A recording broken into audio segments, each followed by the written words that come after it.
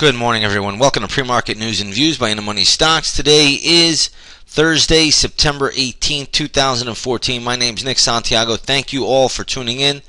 Let's jump right into the charts. We're going to start off with the S&P 500 E-mini futures. You'll see that the S&P 500 E-mini futures are trading higher by five and a half points to 2,007 per contract. Now the futures have come off the highs a little bit, so they were higher. Uh, looks like we just had some economic data that was actually pretty good. It looks like weekly jobless claims declined by 36,000 to 280,000. That's probably one of the better numbers that we've seen in a long, long time. And then on the flip side, we did see um, U.S. housing starts roll over down 14.4% uh, in August. So uh, what do you make of it? What do you say? Really, the bottom line is will the Fed continue to print easy money? And that's really all the market cares about. So, again, futures are trading higher this morning. We'll see if they can hold up here. I'm not so sure they will today, but nonetheless, we'll see if they do, and we'll see how it plays out. Now, later today, you have this vote going on in Scotland, and we'll find out if Scotland is going to seek independence from Great Britain. That is going to be a big, big news event as well. So, uh, again, there are some things out here that can rattle the markets today. Uh, you do want to pay attention to it, and um, you know we'll see where all of this goes. But nonetheless, um, this is what we're looking at this morning. All right, let's get into some stocks here uh, that are making some moves. Pier 1 Imports, you know the retailer. Stock closed at $15.54 yesterday.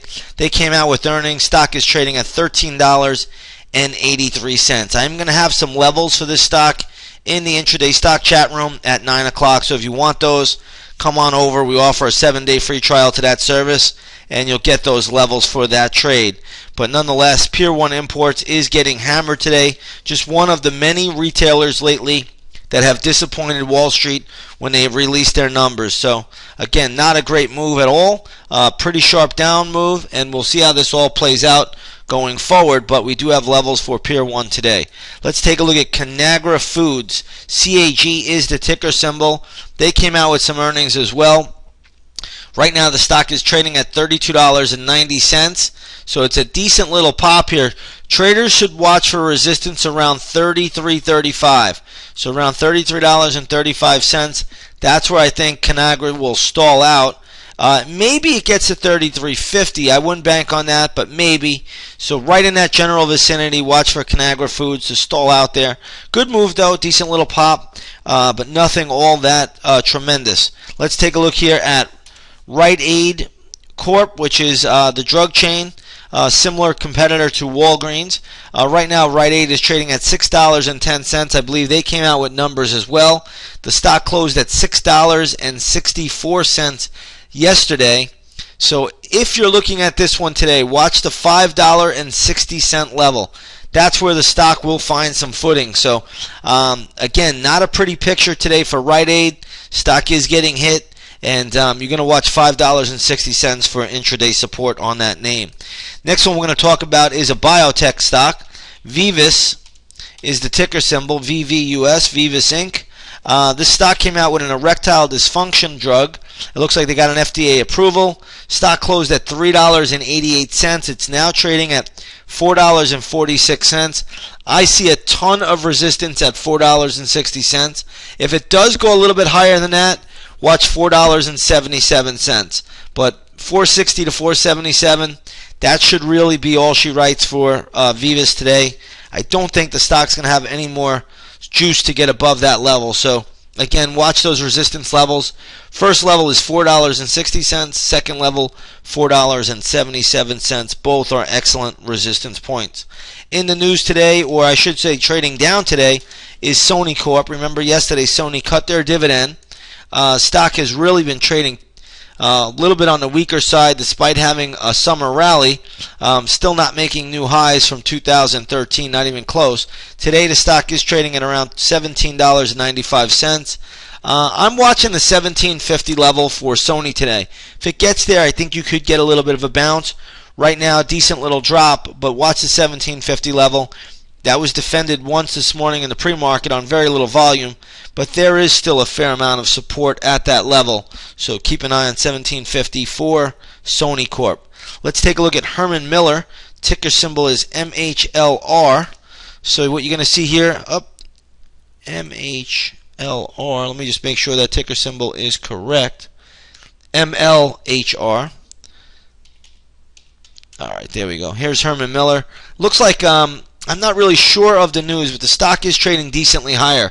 Closed at $30.87. Stock is now trading at $31.85. Give this one the upside today if it can go higher uh, around 33.40. That's a level where the stock should stall out around $33.40 if it can even get up there.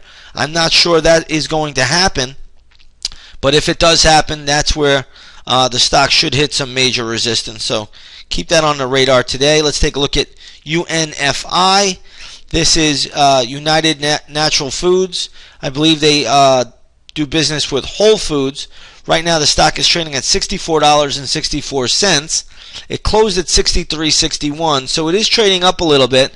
But as you can see here, it had a big, big pop yesterday at the closing bell, um, and really ran up almost to $70 a share before reverting back down towards um, its breakout level. So again, be a little bit careful with this one. If it does start to rally, I'm showing a lot of resistance around $66.75. If it starts to fall, I see a lot of support around $59.70. So keep both of those levels on your radar. Those are the levels you would trade off of. Nothing else before that. Now, looking at the gold market today, gold is getting absolutely crushed. Gold futures are down $16.40 to 12 to $1219.50 an ounce. Remember, when the dollar yen goes up, gold goes down. And take a look at dollar yen here. I'm just going to show you a daily chart of this. Just parabolic. I mean, the move is just incredible. Dollar yen is just soaring to the upside. Pretty much a breakout type move for last, you could say, really since August. Uh, it's just been in a straight up position. Look at this angle is probably around 70 degrees, 65 degrees to the upside.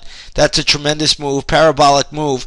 But when dollar yen goes up, gold goes down. And you can just take a look at the dollar index. We're going to look at the Z contract. This has had a steady move higher as well. So um, U.S. dollar index goes up, dollar yen goes up, gold goes down.